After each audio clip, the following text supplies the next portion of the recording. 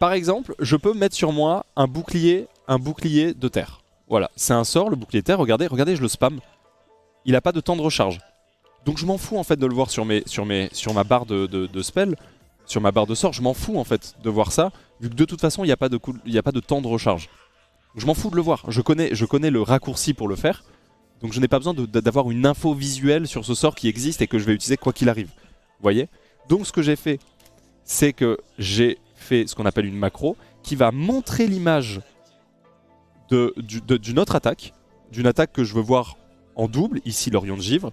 Mais en fait, quand je vais cliquer sur le bouton ici Alt 3, qui est écrit ici, au lieu de lancer l'Orion de Givre comme l'image est écrite, ça va lancer le bouclier terre qui lui n'a pas de cooldown. Donc je m'en fous. Mais ça va quand même montrer l'Orion de Givre. Ok? Et pourquoi tu veux voir une attaque en double? Excellente question. Je veux voir une attaque en double parce que je trouve que c'est plus clair pour voir les,